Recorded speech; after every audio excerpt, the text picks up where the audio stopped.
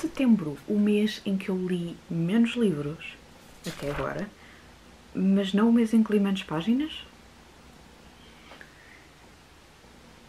Em setembro li quatro livros, um conto, um total de 2.478 páginas. Portanto, apenas terminei quatro livros, mas como podem ver, este cabe bastante julito. E os outros também não lhe fogem muito. Uh, não li nenhum livro com menos de 400 páginas, 400 ou 300 páginas, não sei. Qualquer coisa assim nos género, portanto. Ok. Ok. Não foi assim tão mal quanto eu estava a pensar. Li apenas autores do sexo masculino. Todos os livros que eu li foram em inglês. Certo, todos os livros que eu li foram em inglês. Um, fiz uma releitura. Os livros que eu li foram físicos, vocês já os viram. Dois deles estavam na TBR para o ano. Um, foram dois livros de fantasia. Foi um policial barra thriller para o September Thrills. Infelizmente só consegui ler uma coisa para o September Thrills. Ainda estou chateada com isso, mas pronto. Era um livro que eu já estava para ler há muito tempo. Li e gostei, portanto, nem tudo foi mal. Uh, e um livro de ficção científica. Dei 4 estrelas e meia um livro e o resto levou 5 estrelas. Portanto, não foi mau mês de leituras. Vamos começar pelo primeiro livro que eu terminei. Foi um livro que era uma leitura que já vinha do mês anterior, que é aqui o Hyperion do Dan Simmons. E que leitura fantástica! Apesar deste autor, entretanto, entre eu terminar de ler este livro uh, e durante o mês de setembro, fez uns comentários bem parvos online uh, e que uh, por isso mesmo já a gente livrasse dos livros dele todos, que também acho que é estúpido, mas pronto, enfim, um, porque o senhor tem 70 anos e uma mentalidade um bocado retrógrada. Mas eu não estou a ler o senhor, estou a ler aquilo que ele escreveu uh, e além disso de estar a ler os livros dele, eu, como comprei os livros todos em segunda mão, não estou necessariamente a apoiar a pessoa que ele é, portanto, no guilty. Oh well, enfim. Hyperion, Dan Simmons, um livro de ficção científica, o primeiro de quatro livros.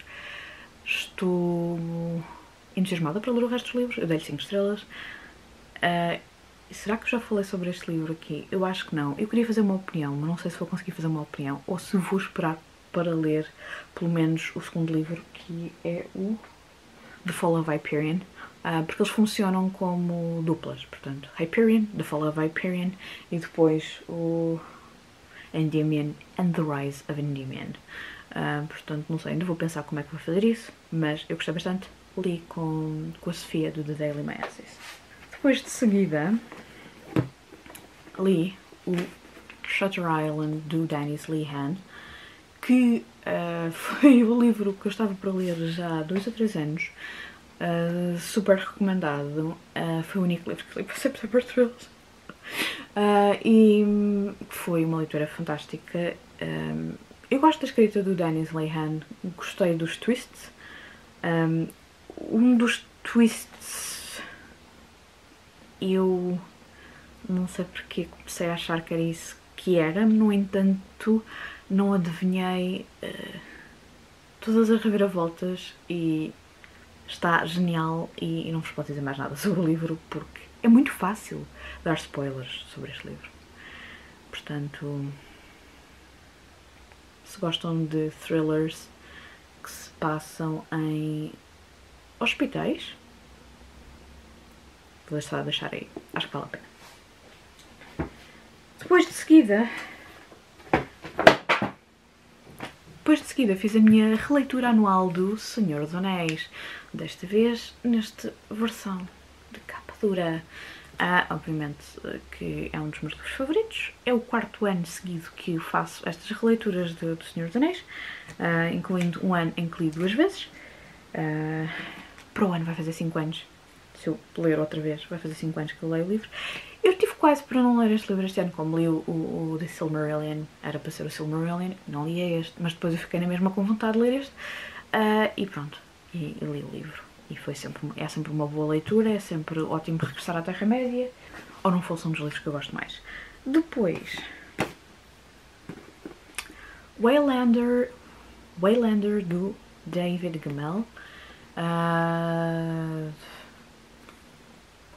eu estou a ler este, esta série por ordem cronológica, portanto, dependendo da maneira como estiverem a ler, é considerado o terceiro ou o primeiro livro. Confuso? Não. Uh, eu gostei imenso deste livro. Uh, Waylander é um herói improvável. Eu já percebi que quase toda esta série vai ser assim com heróis improváveis, com uh, assassinos ou trafulhas que se tornam em heróis e eu gosto bastante disso, portanto estou entusiasmada em continuar. Uh, eu sei que esta personagem vai aparecer nos próximos dois livros, ou o próximo livro não se chamasse Waylander 2 e o outro ser Waylander 3. Tem mais coisas no título, mas uh, pode-se resumir assim. Portanto, estou entusiasmada, uh, gostei bastante desta personagem, gostei das personagens que aparecem neste livro. Um, Waylander é um, é um homem que. Ele era um soldado, um bom soldado, e depois deixou o exército, ou o equivalente ao exército, dos Draenei, e vai começar a sua família. Só que a sua família é assassinada. Vocês podem dizer clichê, clichê, clichê. Sim, muitos clichês, mas, eh, mas está bem escrito está a girar a história, portanto, eu não me importo de estar a ler clichês. Um, e depois ele torna-se num assassino a soldo, inicialmente por vingança, uh, e depois porque ele, pronto, ele torna-se uma lenda, torna-se o Waylander. Um, pelo meio do caminho, uh, ele acaba por matar um rei e depois acaba por ter uma missão dada pelo rei anterior a esse rei confuso, talvez um pouco. Uh, também a parte mágica, que eu acho que este é um problema do, do David Gemmell. Ele não desenvolve muito a parte mágica ou mística ou religiosa. Uh, estão as três muito interligadas, uh, mas que não deixa de ser interessante. Mas eu já li, este é o terceiro livro e continuo a apanhar bonés em algumas coisas. Vejo influências de muitas coisas, uh, neste sistema, mas ao mesmo tempo, enfim, gostava de saber mais. Portanto, espero que os próximos livros, mas não, não acredito que desenvolvam muito na medida em que, lá está, os personagens principais normalmente são heróis. Uh, são heróis, que estupidez. São, são assassinos, são. Enfim. São pessoas que não são li propriamente ligadas à parte mágica da coisa, portanto é normal que se calhar não, não haja tanto desenvolvimento. O que é que Uh, o que é que ficou por terminar? O Seven Gothic Tales da Karen Blixen ou Isaac Dennison, que eu li apenas o primeiro, a primeira história. O Outer Dark do Cormac McCarthy, que eu espero terminar brevemente e que estou a gostar bastante da história, apesar de ser uma história estranha, no mínimo. Uh, e também foi este mês que eu comecei o Dune, do Frank Herbert, mas não terminei. Estou a adorar. Uh, mas entretanto eu vou devolver o livro um, que me tinha sido emprestado pela Sofia e talvez no futuro vocês vejam uma cópia minha do livro. Porque, claro, óbvio, tinha que comprar uma cópia do livro. Estou a gostar bastante e engraçado que para mim Dune é mais um livro de fantasia do que de ficção científica, apesar de ter os elementos de ser no espaço e. Um, mas é para mim tem muito mais elementos de fantasia. O que não é mau. Um, talvez seja por isso que eu esteja a gostar tanto do livro.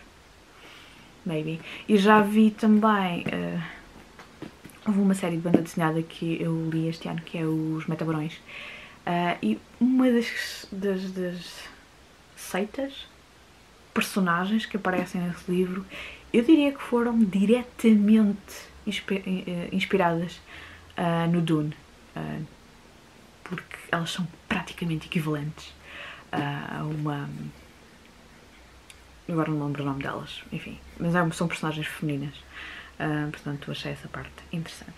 Foi este o meu mês de setembro, uh, poucas leituras, mas boas.